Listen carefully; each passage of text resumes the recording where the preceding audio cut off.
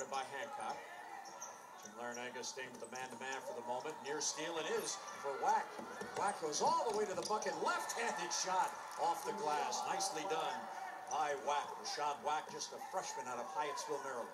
Another very impressive freshman for Jim Larrañaga. Wack plays in probably what I think is the best high school conference in the country, the Washington Catholic Athletic Conference.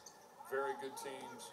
You have DeMatha, you have St. John's, you have Bishop McNamara. Always good players come out of that conference. And Rashad Wack at Bishop McNamara, and here's a look at the steal leading to the bucket.